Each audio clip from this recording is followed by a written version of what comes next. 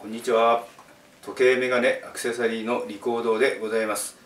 今日はですねあの地元紙室蘭民報を読んでなんですがあのスワンフェスタがあのというお祭りなんですけどね、まあ、それがちょっとあの昨日から開幕しまして、まあ、今日はもうこれでもう終わると思うんですけど、まあ、そのことについてちょっとあのご紹介したいと思います。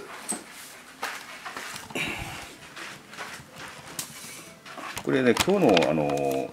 地元紙室蘭民報のねこう一面の記事なんですけどあのここにねスワンフェスタ開幕っていう結構あの今日あたりもですねあの結構暑かったんですよね。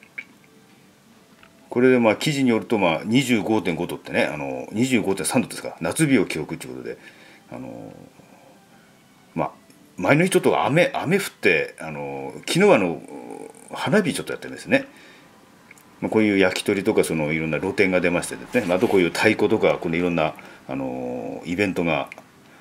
いろいろね盛りだくさんに、まあ、最後の例えばもうあれですね。この大きいイベントはもう今年最後だと思いますけど、まあ、こういうすごくにぎわった、まあ、天候にも恵まれましてですね。こういうあの久々にこういうなんていうんですかね。あのにぎわいがこう戻ったっていうかですね。そういう、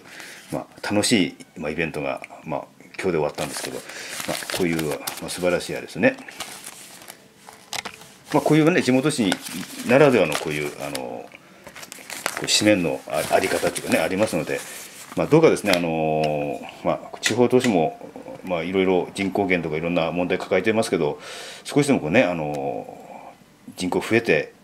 まああれですね少子高齢化が少しでも歯止めかかるような本当にあの町になればということはまあ願っておりますのでえ私たちもこういう、ね、商売もっと繁盛できるようなまたこの環境になればなというあの気しますのでどうかよろしくお願い申し上げます。